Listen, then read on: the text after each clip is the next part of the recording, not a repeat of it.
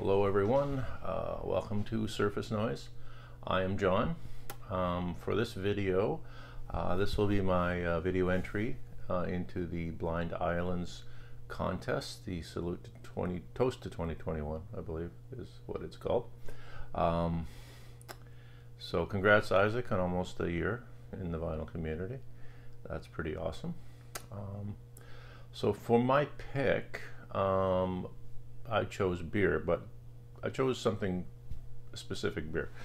What we have here, this is called First Press. Uh, it's made out here in uh, Canada, Vancouver, um, on the west coast by Steel and Oak Brewing Company.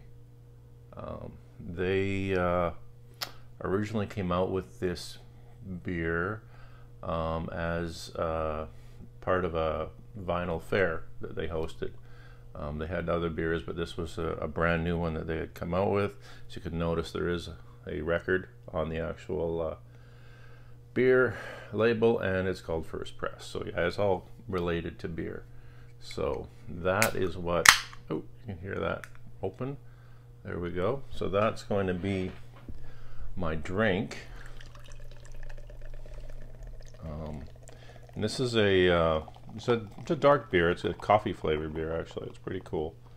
It's one of my favorites. It only, they only really bring it out in the winter because that's usually when they would have the record fair.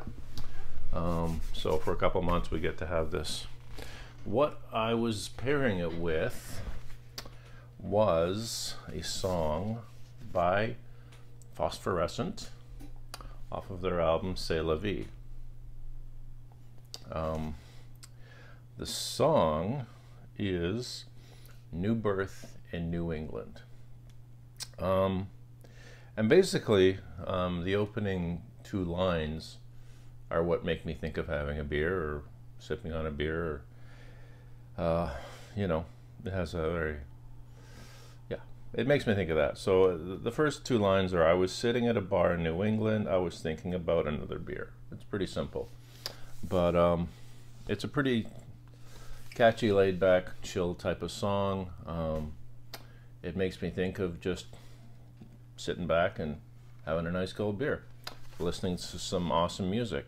So um, it's pretty cool actually. If you look at that, that's a nice uh, the inner shot. You see all the instruments he has there.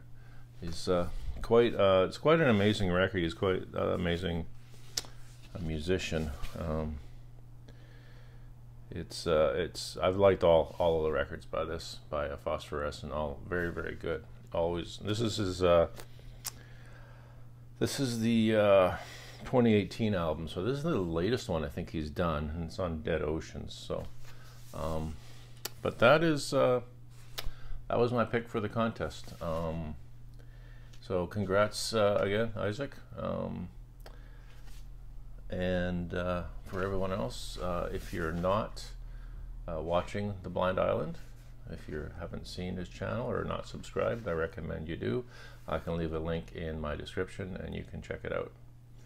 So this is short one, but uh, such is life.